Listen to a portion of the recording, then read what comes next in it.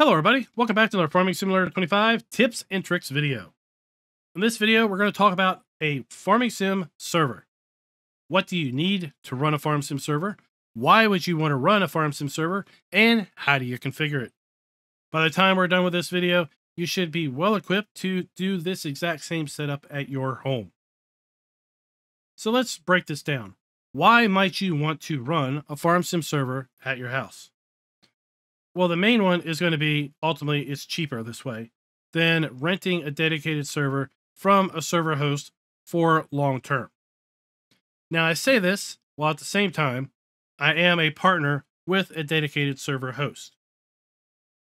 The reason I say this is because if you plan on running a dedicated server for, let's say, a year, two years, or definitely the entire lifespan of FarmSim 25, you're going to save a lot of money in running your own dedicated server.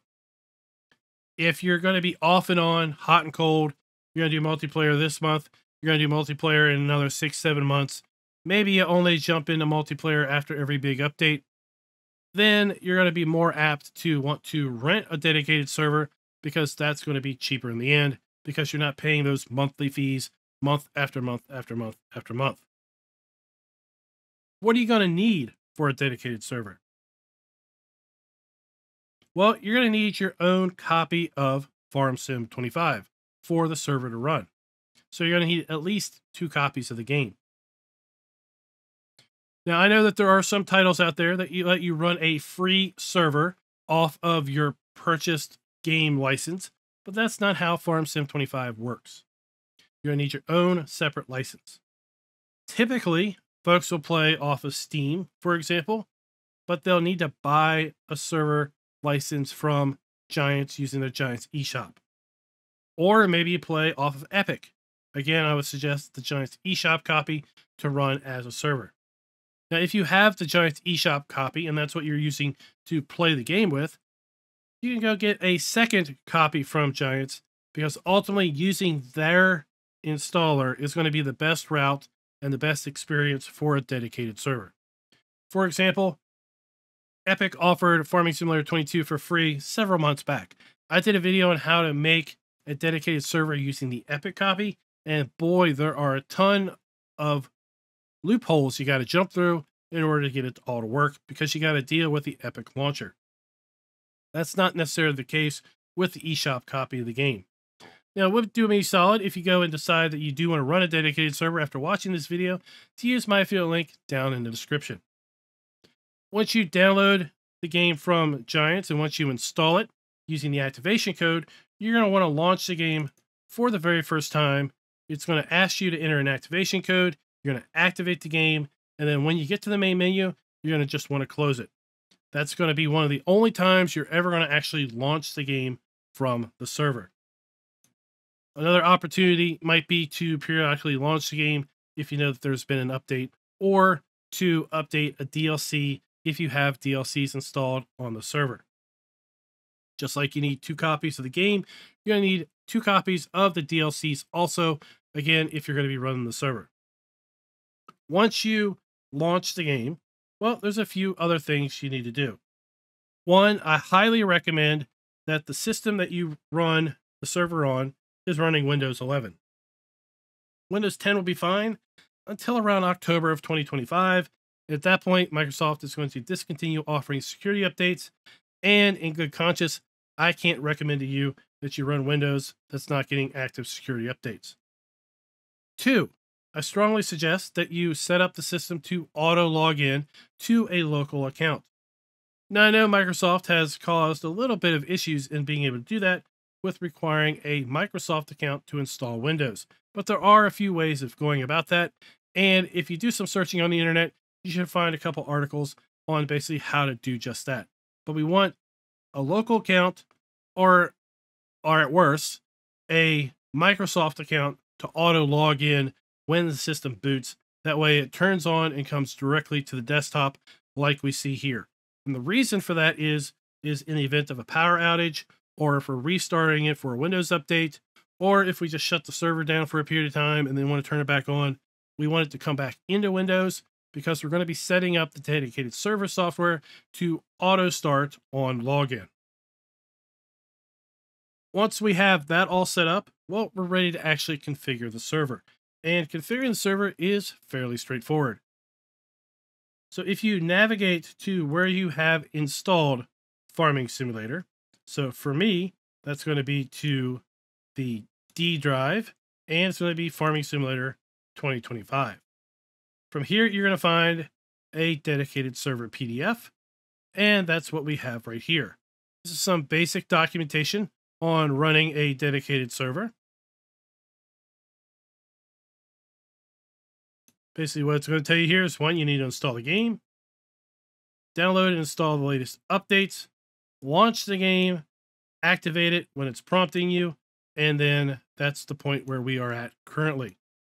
Now we're going to need to configure the dedicated server XML. It does say that this is optional, but for me, I would suggest doing this. So we're going to open this up. And from here, well, we're going to look at this web server port 8080. I'm a little bit of a geek, so I like to change it to 8088 just for fun. We have our admin username, and then we have blank for a password. We're going to want to put an admin password. This is going to be to log into the web interface for the dedicated server. For this video, I'm just going to type in FS25. Type in whatever you want there. From here, we're going to pay, say TLS port. This is going to be for SSL. We're going to change this to false. If we want to change the name of the server, we can change the name here. And we're going to come down here to imprint. And I'm actually just going to delete out all of that because we don't need the little logos that are going to be there. I'm going to delete this little logo section. We're also going to delete that. I'm going to come up here. I'm going to hit file. I'm going to hit save. Once we do that, we're going to close it. The next thing we're going to do is we're going to want to make a shortcut to launch dedicated server.exe. So I've already got the shortcut here. I created it, but basically you can go here, right click, and you say create shortcut. And there you go, right? And we're going to want to put this shortcut in the startup folder. So we're going to go to C colon slash program data. Then we're going to come down to Microsoft. We're going to find Windows. And we're going to find Start Menu, Programs, Startup. And we're going to drag our dedicated service shortcut into that folder. So anything in this folder will auto start when the game launches or when the system boots. That's what I mean to say. Next thing we're going to do is we're going to double click on this shortcut just to run it. Now, if it's the first time that you have run this software, you're going to get a prompt here. Do you want to allow public and private network access to this app? Basically, it's asking you, do you want to allow this application to basically transmit data across your network? Well, of course I do. Otherwise, I wouldn't be trying to run a dedicated server now, would I? So we're going to hit allow. And now we have our dedicated server running. We have this URL. So this URL is going to be our IP address, colon, and then our port, in our case, 8088. So let's launch a web browser. Again, we're still on the local system. And we'll go to that address.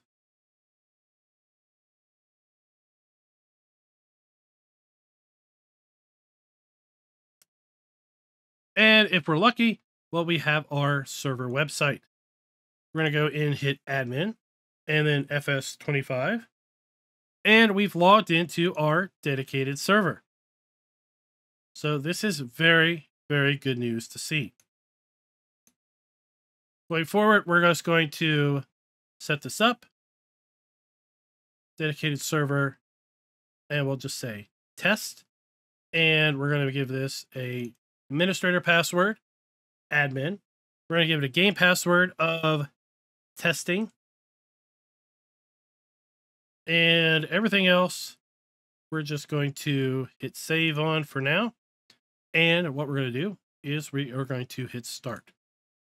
Now, what this is going to do is it is going to launch the game in text mode. So it is launching Farming Simulator 25 and it is booting Riverbend Springs up. Now, while that's running for a little bit, let's explain some of this web interface. So we have our CPU utilization, we have our RAM utilization, our hard disk utilization, our uptime, and the number of players. Now, typically you can run up to 16 players on a dedicated server. Right now, this is set to 12. That's easily changed. We have the game version, Farming Simulator 25, version 1.2.1.0. Depending on what version it is, you may have issues with your client connecting if your client and the server are different versions. They need to be the same. So if you can't connect because your client's updated, that's a hint that you need to come here and run the game from your server in order to get it updated. We have the server name. We have the administrator password once you're in the server. We have the password to join the server. And we have our save game slot. We have 20 slots on our server, just like we do on PC on our client. The map we're running, how much money we'll start out with, our loan amount, etc. We've got our max slots, our game language, autosave interval. If the game is empty, it will automatically pause. We can change this. And if crossplay is allowed, that means consoles can join us. We have no current active mods, and we could activate the MacDon pack if we want. If we activate DLC, everyone must have not only the DLC, but also must have the proper version of the DLC that's active on the server. From our save games, we have a listing of all of our save game slots. And if we had active saves in here, they would be listed. We can also upload a save game by coming to here. What we need to do is have a zip of the save game folder, and then we can navigate. We can upload that zip to a specific save slot. So if we have set up a save on our local system and it's ready to go, we want to put that on the server. We zip up the entirety of the save game folder. Let's say save game two. We go to save game two. We go inside of that folder. Then we select all. We save it. Then we upload that save game to.zip here, and then we're ready to go. This is going to be where we manage our mods. We can upload mods, we can activate mods, deactivate mods. And then we have a listing of our log files. So this is simply that over here. Under settings, we can turn on public mod download. Now, since this is running on our home network, this isn't necessarily going to be the best. Because what this does is if I activate it, it basically says that anyone can go to this URL and download the mods that are being used on the server. Well, the problem is pretty much everyone's home internet is using NAT, and as such, you have a private internal in internet address compared to your public external internet address. If you type that into your web browser right now, you're definitely not going to hit my server. You're probably going to hit nothing because nothing on your network has that address. So you need to activate something called port forwarding on your router. Then you have to share your home internet IP address to your friends with then this information on how to then forward port 8088 from your home internet IP address to your internal server IP address. And that's just a whole new can of worms that is way beyond the scope of this particular video. So for this video, I suggest that you leave that as non-activated. You could come here and auto activate server restarts and basically say sometime between 2 and 5 p.m. when the server is empty, just restart it for me. So every day the game will just restart and be ready to go fresh.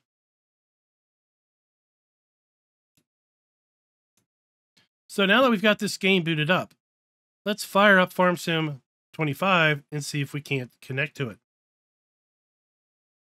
So here I am running on my local client. We're going to go to multiplayer. We're going to join a game.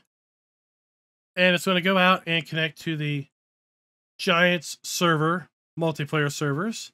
And lo and behold, looky here. Here's our Daddy server test.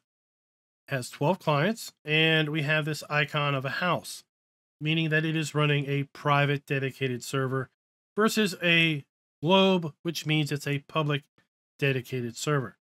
So we have a lock, which means that it is locked behind a password. So we can basically say, yeah, I want to connect to that. Start, it's going to say enter the password. Password was what, test?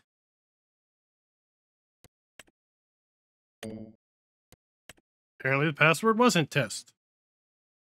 Well, at least now you know what happens when you put the wrong password in. The password was testing.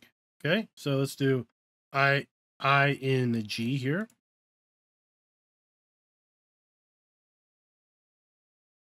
Let's just type it back in again. And we'll go start. So now it is connecting me to my dedicated server.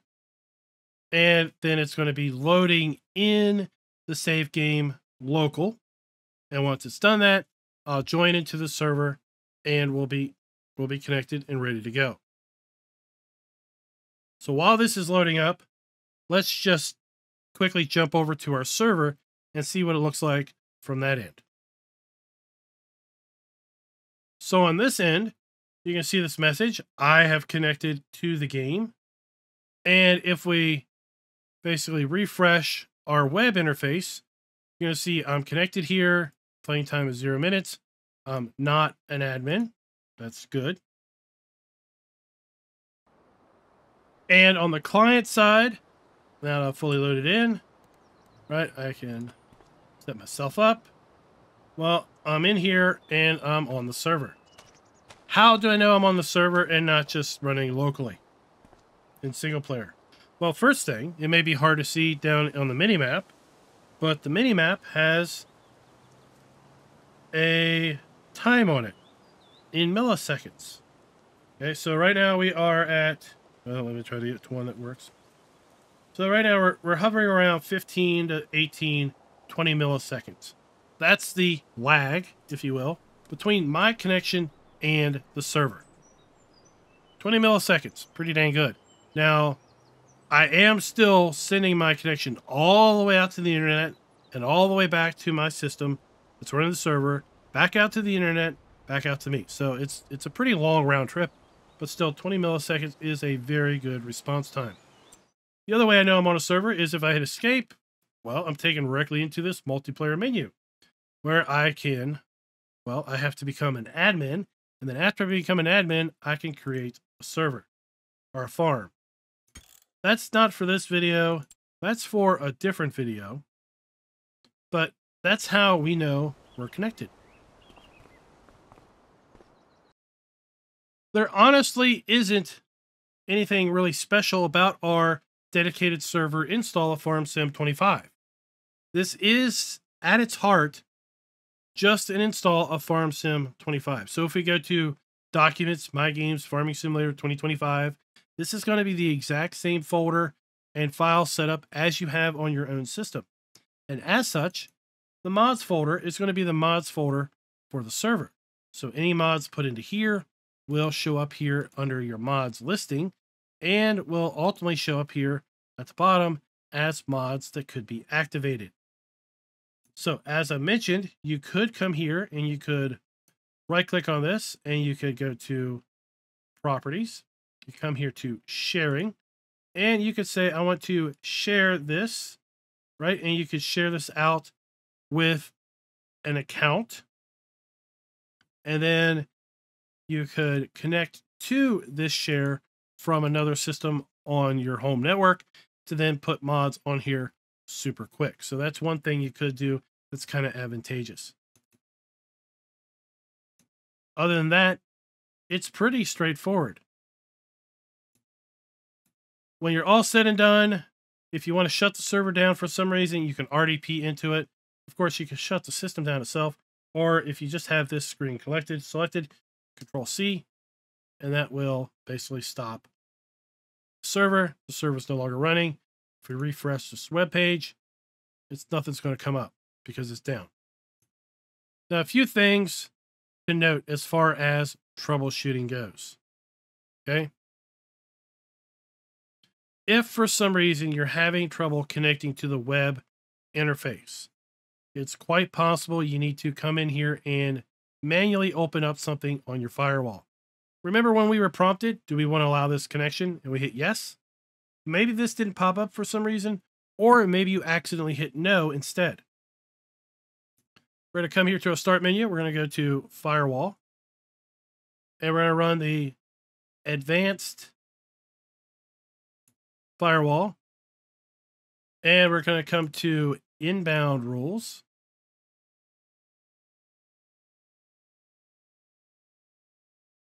And we want to look for something related to Farming Simulator 25 and see if there anything's listed here. If nothing's listed here, then we're going to want to add our own inbound rule. So to do that, we're going to come up here to new rule. We're going to say for a program. Next, we're going to browse to where Farming Simulator 25 is installed. For me, I put it on the D drive. We're going to select the application and we're going to say that. Then we're going to come down here, allow this connection, allow it across all the domains. And then we're going to say, we're going to give it a name and we're going to finish it out.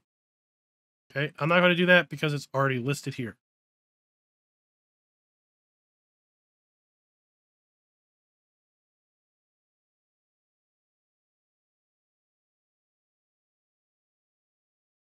If you happen to get a message says failed to assign process to job object, unable to assign game server process to process group when trying to start the web interface, well, then it's possible that you need to run dedicated server with admin privileges that the local account doesn't have enough privileges to launch the server.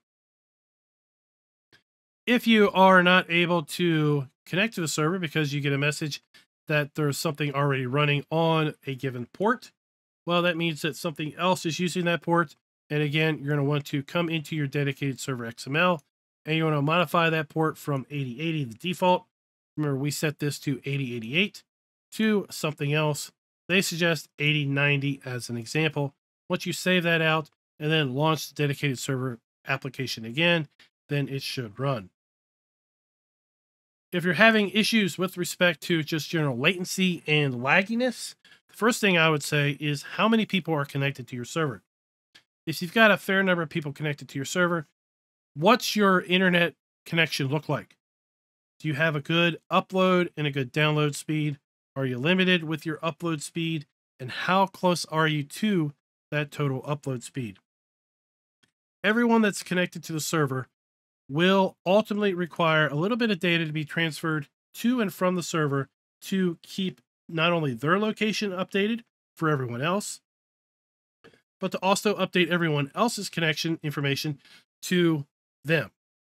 In addition, if you're doing field work or other things, the game is busy updating all of the other layers of the map and sending those updates out to all the clients all the time.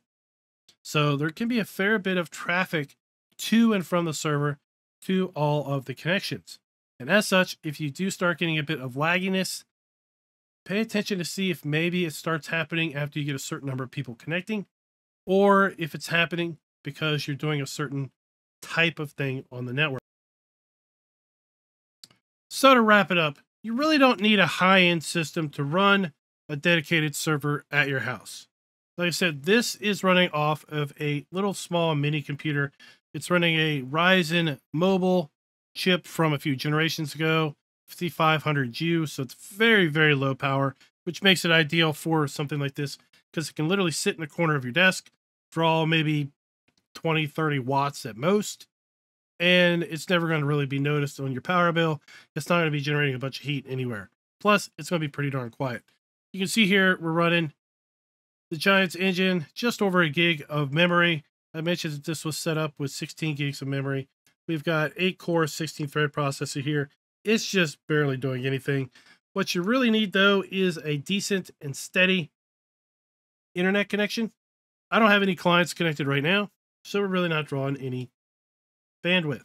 But as you get more and more connections to people, you're going to need more and more bandwidth. It's not going to be a whole lot, but it is going to be a little bit of bandwidth. And you're going to need good steady bandwidth because the server is going to have to constantly send out updates to the clients. Clients are going to be sending information back to the server, which is then compiling all that and sending that out to all the clients. So everybody can keep track of where everyone else is, what field states are in, what ground states, foliage states, texture states, the ground deformation, all of that stuff has to be tracked and distributed between all the different clients. You don't really need any GPU whatsoever because it's running the game in text mode here on the server. I hope this is going to help you all set this up and run it. Uh, it's been fairly successful video for FS22 and FS19, so I try to re-update this every time a new version comes out. Let me know your thoughts down in the comments below. Is this something that you're going to do on your own network at home? And until next time, happy farming.